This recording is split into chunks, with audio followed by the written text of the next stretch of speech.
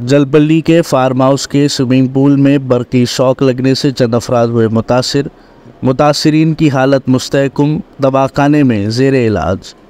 हैदराबाद के आगापुरा नामपल्ली इलाके से ताल्लुक़ रखने वाले तीन ख़ानदान के चंद अफराद को इस वक्त बरखी शौक लगने से अस्पताल मुंतकिल कर दिया गया, जब तमाम पुराने शहर के जलपल्ली में वाक़ फार्म हाउस के स्विमिंग पूल में तैरने के लिए उतरे थे।